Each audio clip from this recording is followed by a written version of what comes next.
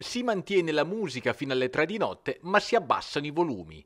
È stata firmata l'ordinanza comunale che corregge il tiro sul precedente regolamento relativo all'ascolto di musica nei locali della Movida del lungomare pesarese. Un ritocco che cerca di andare incontro ad una complessa mediazione fra gestori dei locali, alberghi e residenti dopo le rimostranze per rumori molesti che hanno già accompagnato il primo scorcio d'estate. Da Viale Treste al Porto e Baia Flaminia, da Sottomonte a Fosso Seore fino ai locali sul San Bartolo, l'ordinanza consentirà l'ascolto di musica dal vivo e non fino alle 3 di notte anche nei giorni feriali. Andando nello specifico, da domenica a giovedì sarà consentita la musica a 65 decibel fino a mezzanotte, una cifra che si abbasserà a 55 decibel nelle tre ore comprese fra mezzanotte e le 3.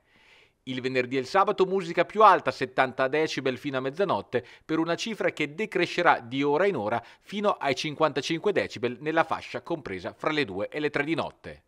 Un'ordinanza reputata equilibrata su più fronti che ora sarà chiamata alla prova concreta dei fatti, sull'effettivo rispetto o sforamento dei decibel e sui controlli deputati al rispetto dell'ordinanza.